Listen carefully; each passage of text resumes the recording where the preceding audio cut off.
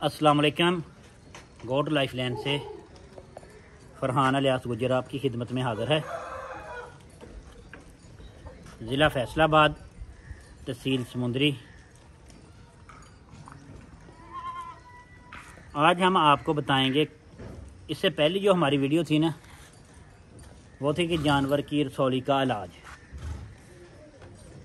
अच्छा रसौली की दो अकसाम होती हैं। एक किस्म होती है कि वो बॉडी के ऊपर आती है, एक किस्म होती है जो जानवर की टांगों के ऊपर आती है। टांगों के ऊपर, उस जगह पे आती है उसी जोड़ के ऊपर।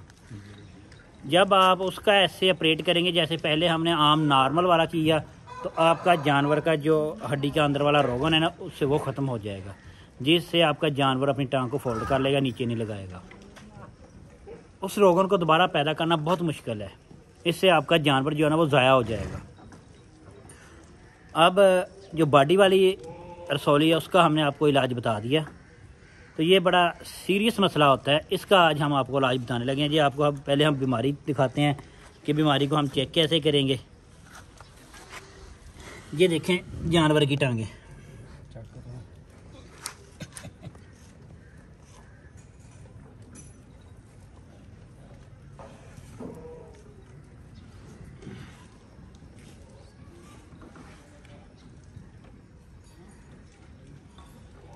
इसको हम ऐसे दबा के देख रहे हैं।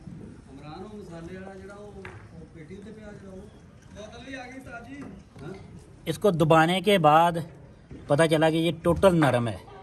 तो अब हम इसको अगर कट लगाएँगे तो नीचे इसका जो हड्डी का रोगन है वो भी ज़ाया हो जाएगा। अगर ये इससे ऊपर वाले हिस्से में किसी भी जगह पे होगी तो हम उसको बासानी कट लगा के ज़ाया कर सकते हैं। लेकिन इसका सबसे बेहतरीन तरीकाकार ये है कि आपने एक जराब लेनी है। ये देखो। ऐसे एक जराब ले लेनी है। ये जराब भी ये नीस लेके आया है बिल्कुल जानवर के कलर जैसी है। क्रश अच्छा ये आपने एक हूप स्प्रे लेना है। हूप स्प्रे को आपने खोलने के बाद ऐसे ना ये आपको हमारे जितने भी डिस्ट्रीब्यूटर हैं उनसे मिलेगा। इसका काम क्या है ये भी मैं आपको बता देता हूँ। हूप स्प्रे का काम है कि जानवर के पैरों का जितना मर्ज़ी भी ज़ख्म ख़राब हो फौरी ठीक कर दें। जो जानवर छः छः माह से पैर नहीं लगा रहे वो भी ठीक हो जाएँगे। अल्लाह के फजल से इसका इतना कामयाब रिज़ल्ट है। ये गाय भैंसों में भी इस्तेमाल हो अच्छा इसका बड़े जानवर में भी इस्तेमाल हो सकता है। जितना मर्ज़ी पैर ख़राब हो आपने पैर को उल्टा करके इसको दो से तीन दफ़ा लगाना है तो अल्लाह की फजल से पैर बिल्कुल ठीक हो जाएगा। चलो आए अभी अपने ये ना आते हैं इधर जानवर की तरफ़। इसको आपने ऐसे दबा के देख लेना। अगर नरम होगा तो आपकी ये जल्द जान छोड़ देगा। अगर हार्ड होगा तो फिर आपको थोड़ी सी मेहनत ज़्यादा करनी पड़ेगी। आपने ये स्प्रे को ऐसे लगा देना है।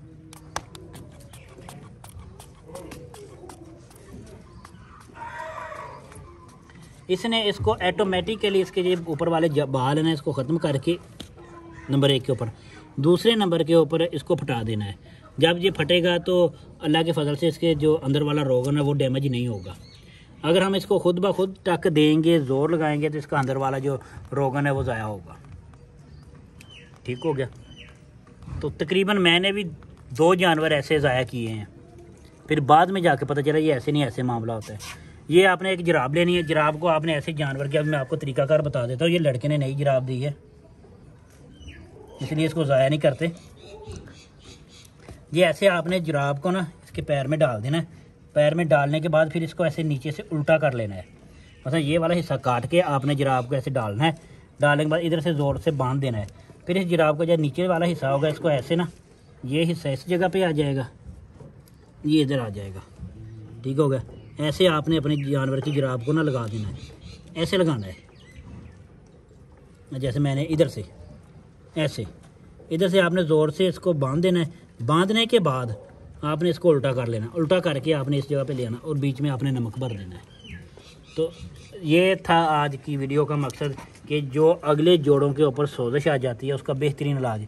ये दो चीज़ें ऐसी हैं कि बाद सोजिशें ऐसी होती हैं, जो फटती हैं, बाद सोजिश ऐसी होती है कि जो फटती नहीं है, वैसे खुद ब खुद ही रिमूव हो जाती है। ठीक है? ये जोड़ों वाली सोजिश का आज हमने आपको इलाज बताया। इसकी वजह से कई दोस्तों ने अपने जानवर को ज़ाया किया होगा। अच्छा अगर यही प्रॉब्लम बच्चों में आ जाए तो इन ताला नेक्स्ट हमारी वीडियो बनेगी बच्चों के ऊपर। तो फिर उसमें बताएँगे, बच्चों का इलाज क्या है?